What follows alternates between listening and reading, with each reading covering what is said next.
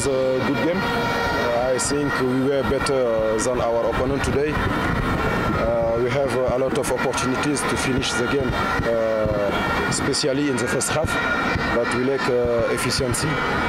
So it's the football. Like I said, my player, you know, I think we deserve respect.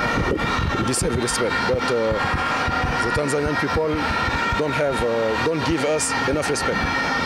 It's not possible for us to fight against history Simba and uh, Yanga, but it's possible for us to fight in the present and the future, and we are here to fight against them.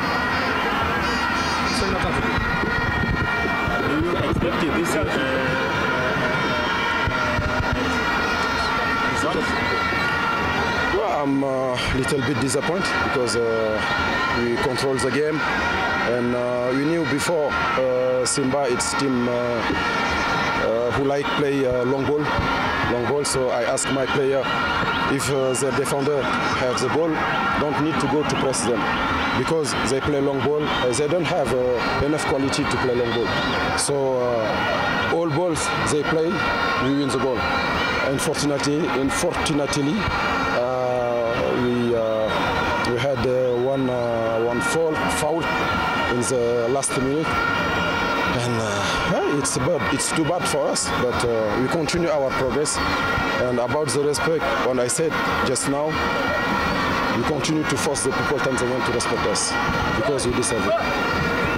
Thank you. Tell us, there was an, a conflict after Simba getting the. It's the football. It's the football. It's finished. It's finished because it's the football, the adrenaline.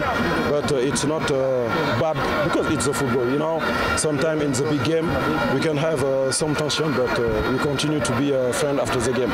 During the game we fight, but uh, when the game when the game is finished, we are friends. Congratulations. Thank you. Thank you much.